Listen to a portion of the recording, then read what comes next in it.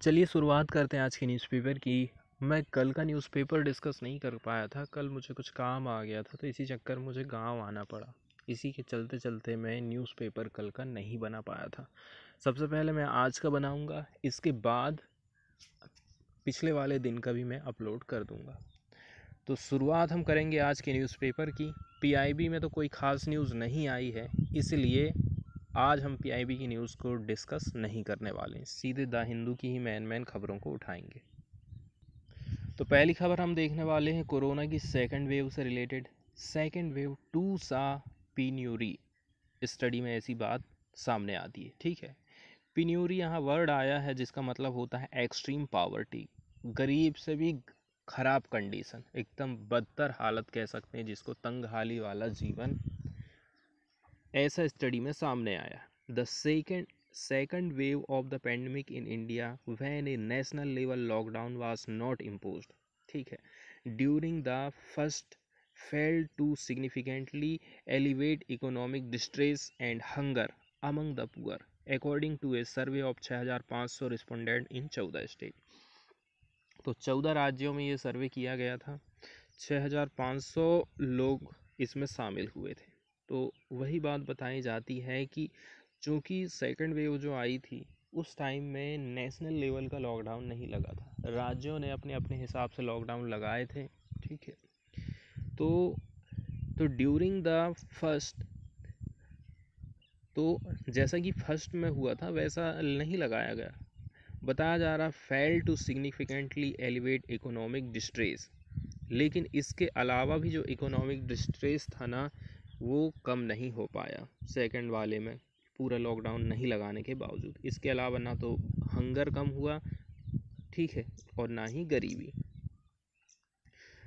सर्वे बताता है hunger watch two was commission by the right to food campaign and the centre for equity studies during December 2021 and January 2022 to evaluate economic distress following the second wave तो जब corona की second wave आई, उस time में economic जो distress था, पैसों की जो लोगों को कमी जा रही थी, उसका अध्ययन करने के लिए ये रिपोर्ट सामने आई, ठीक है? हंगर वाच टू जिसको कमीशन किया गया था राइट टू फ़ूड कैंपेन और सेंटर फॉर इक्विटी स्टडीज़ के द्वारा। बताया जा रहा है the two organisation conducted hunger watch first from October से लेकर के December in 2020 to measure the fall out of first wave first wave के चलते चलते क्या क्या प्रॉब्लम लोगों ने फेस की है, उसको हंगर वाच फ़र्स्ट ने बताया था। इसको अक्टूबर से लेकर के दिसंबर 2020 तक आंकड़े इसके बताते हैं। बताया जा रहा है एज मच एज छियासठ percent of the respondent of the second service at their income had decrease छियासठ परसेंट लोग ऐसे हैं जिनका कहना है कि हमारी कमाई जो है घट गई है। From the pre pandemic level corona जब से आया था, उसके पहले हम ज़्यादा कमाते थे, आज हम सौ की जगह पचास कमा रहे this proportion was larger among urban household ठीक है? शहर, शहरी लोगों की बात करें तो वो तो अनुपात और भी ज़्यादा है। फैमिलीज़ अर्निंग लेस देन तीन हज़ार a month and Muslim household बताया जा रहा है कि परिवार जो है, तीन हज़ार रुपया से भी महीना कम कमा रहा है। इसमें मुस्लिम हाउस होल्ड भी शामिल है। नेक्स्ट न्यूज़ हम देखने वाले हैं ईडी से रिलेटेड न्यूज़ आप देखिए, महाराष्ट्र की गवर्नमेंट में कैबिनेट मंत्री और एनसीपी के लीडर हैं नवाब मलिक। बुधवार के दिन इनको गिरफ़्तार किया गया है, जिसके बाद क्वेश्चन उठने शामिल हो गए हैं कि उनकी गिरफ्तारी की आखिर वजह क्या है। दरअसल, स्टेट गवर्नमेंट में जो मिनिस्टर हैं, मलिक, इन पर मनी लॉन्ड्रिंग के केस लगाए गए हैं और आतंकवाद के लिए इन्होंने क्या है, पैसा दिया या फिर उस केस में ये शामिल थे, ऐसे आरोप इनके ऊपर लगाए जाते हैं। उन पर आरोप है कि वो अंडरवर्ल्ड डॉन दाऊद इब्राहिम से संबंधित ज़मीन डील से जुड़े ज़मीन की जो डील रही थी, उससे ये जुड़े हैं। ईडी अंडरवर्ल्ड से संबंधित मनी लॉन्ड्रिंग मामले की जाँच कर रहा है, ठीक है? ईडी ने हाल में अंडरवर्ल्ड के खिलाफ केस दर्ज कर कई ठिकानों पर छापेमारी भी करी है। इस सिलसिले में कुछ हफ़्ते पहले दाऊद इब्राहिम के भाई इकबाल कासकर को भी दबोचा गया था। तो वही है लेन देन दाऊद इब्राहिम और ये जो लीडर है, इनके बीच में लेन देन की बात यहाँ पर सामने आती है।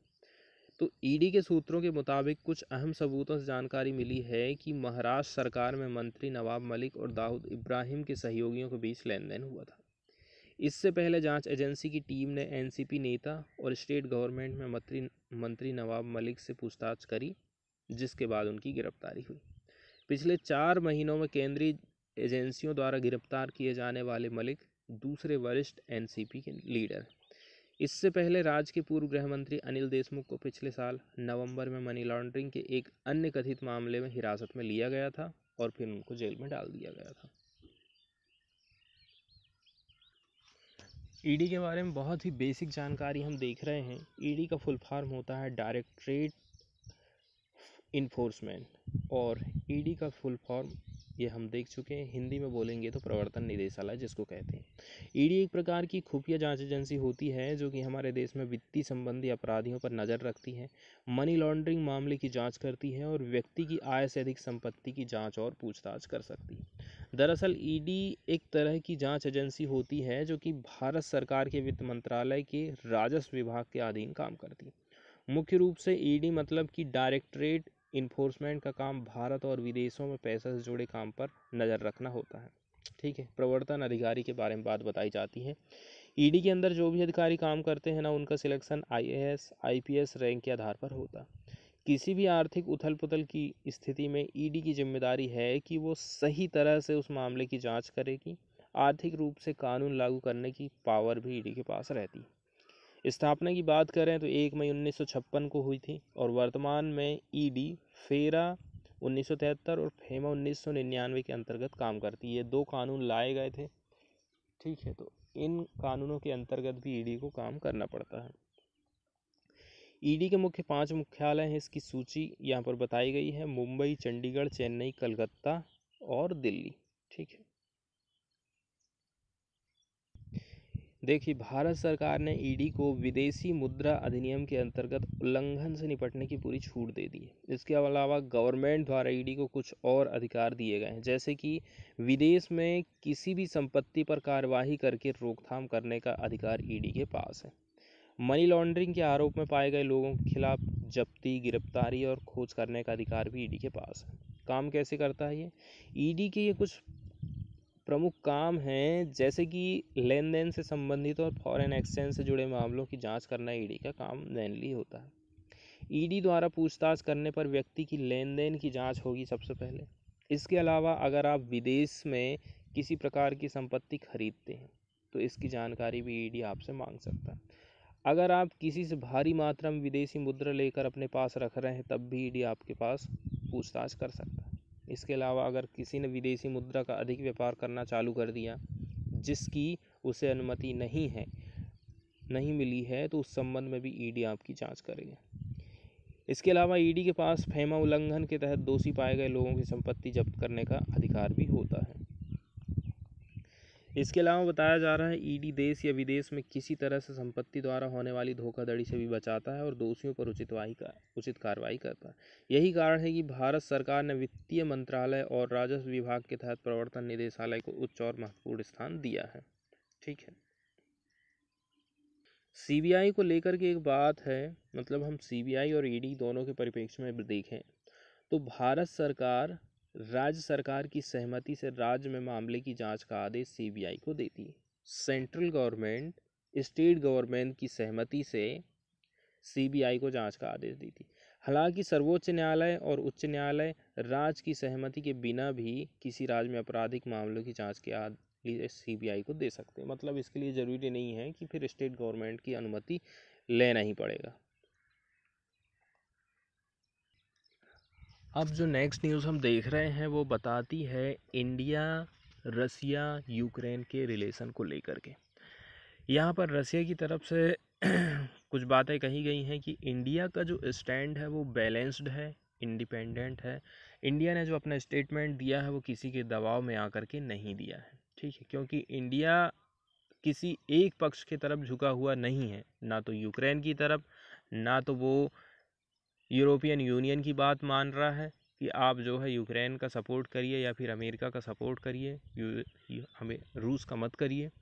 तो इंडिया ने दोनों की तरफ़ से एक बैलेंस आंसर दिया है मतलब ना तो वो रसिया की तरफ़ गया है, ना तो यूक्रेन की तरफ़ गया है। हमारा जो आंसर था वो बैलेंस्ड और इंडिपेंडेंट था, ऐसा रशिया की तरफ़ से कहा जाता U S sanctions over Ukraine would not stop S four hundred delivery ऐसा राजदूत का कहना है। और यूएस के जो सेंक्शन है ना, वो एस फोर हंड्रेड मिसाइल की डिलीवरी को रोक नहीं सकते हैं, ऐसा इन्वॉय की तरफ़ से कहा जाता है, राजदूत की तरफ़ से। Ukrainian soldiers moving on the border with the eastern Ukraine city of Luhansk on Wednesday. तो ये यूक्रेन के सैनिक हैं, जो कि बॉर्डर में मूव कर रहे हैं। Welcoming welcoming India's independent stand at the UN security council on Moscow's move in eastern Ukraine. Russia's acting ambassador to India, Roman Babushkin said on Wednesday that the new sanctions imposed on his country would not affect the delivery of S-400 missile system. इसके अलावा other defence equipment that India had purchase from Russia न केवल S four hundred missile बल्कि other भी जो defence के equipment है, वो उनकी डिलीवरी इससे प्रभावित नहीं होने वाली। एक बार यहाँ पर ये बताई गई है कि रसिया रसिया जो मूव कर रहा है ईस्टर्न यूक्रेन में ना, वो बात यहाँ पर बताई जाती है। इसके अलावा he stressed that the on going visit by Pakistan prime minister Imran Khan to Moscow would in no way affect India Russia tie Pakistan यदि हमारे यहाँ रसिया में आया था तो उससे इंडिया और रसिया के रिलेशन बिगड़ने वाले नहीं adding that the Pakistan Russia partnership does not envisage envisaging a defence relationship a at present ठीक है? इसका मतलब होता है कि यदि रसिया के साथ में हमारे रिलेशन पाकिस्तान के साथ में यदि हमारी दोस्ती बढ़ भी रही है, इससे भी इंडिया के साथ में कोई गलत प्रभाव नहीं पड़ने वाला।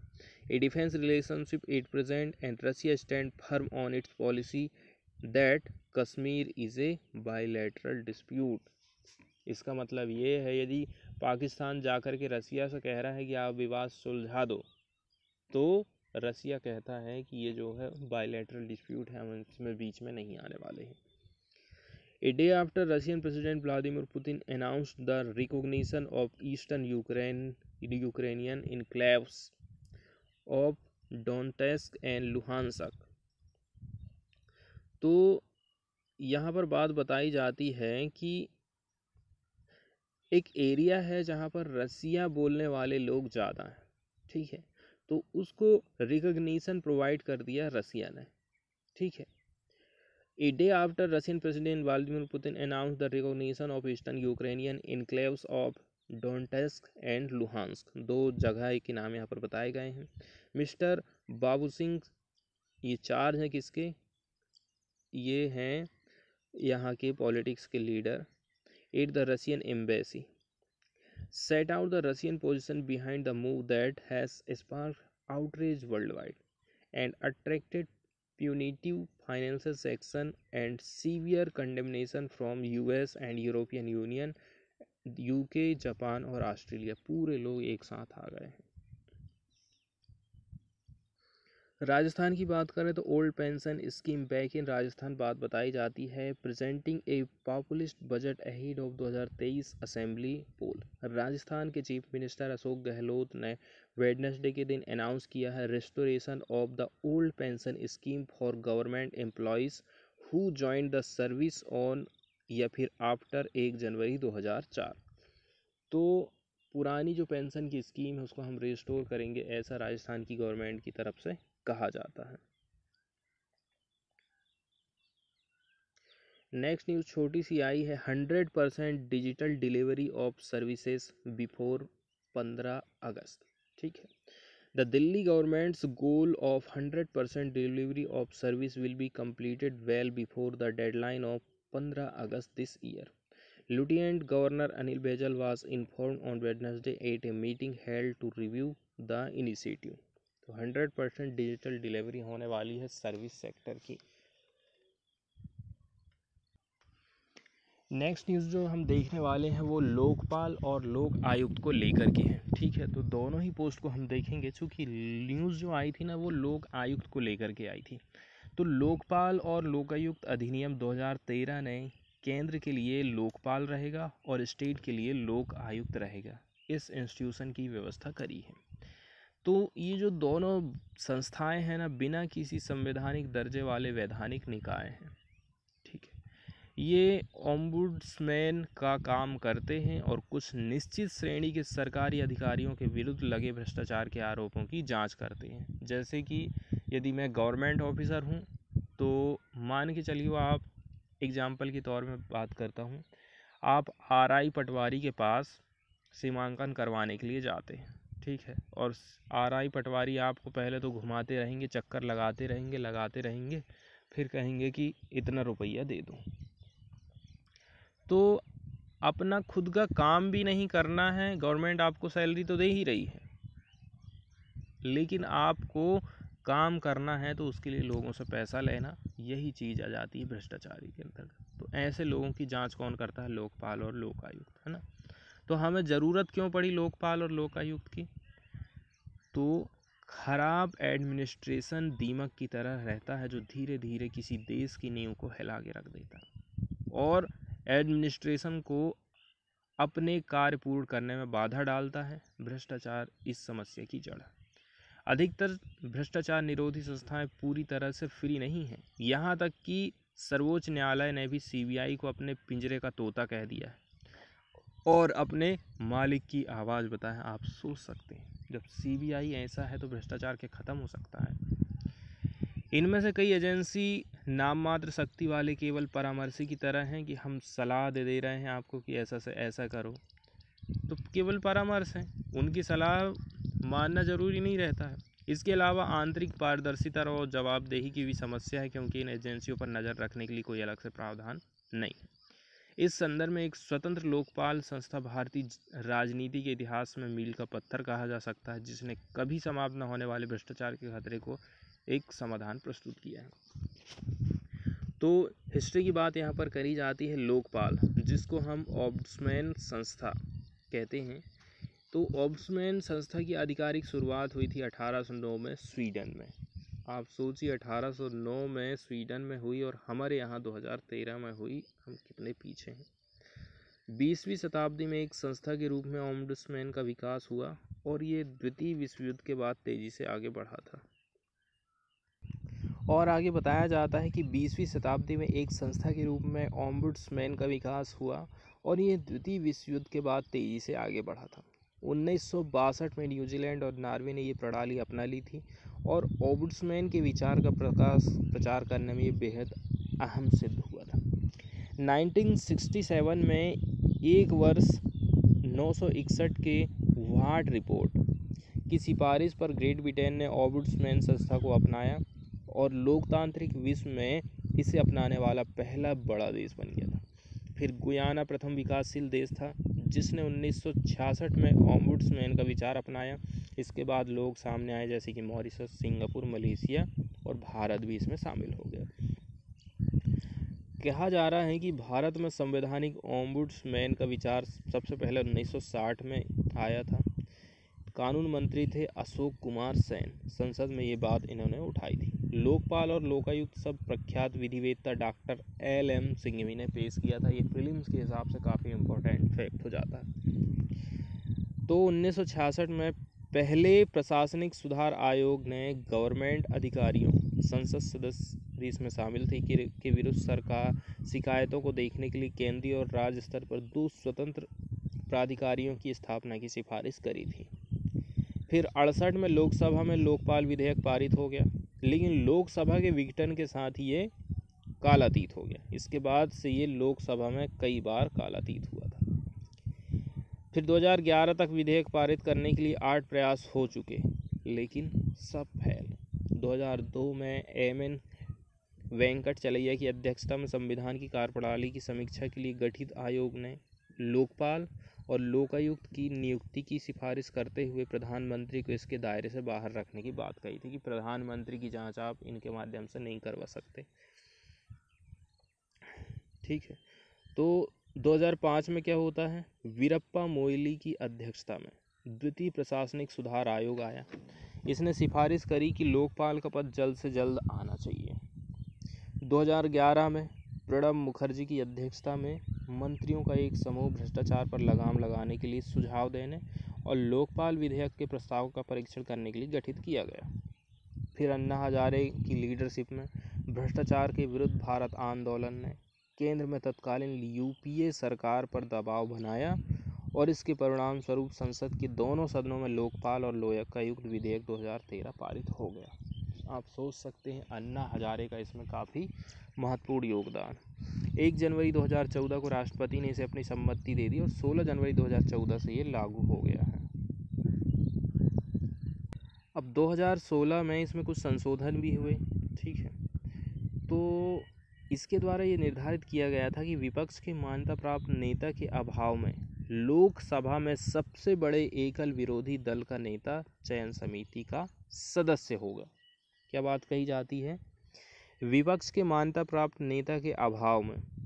मान के चलो विपक्ष में कोई मान्यता प्राप्त नेता अभी समझ में नहीं आ रहा।